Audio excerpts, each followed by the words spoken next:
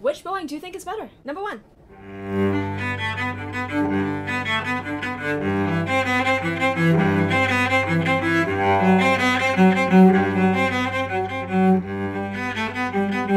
Number two.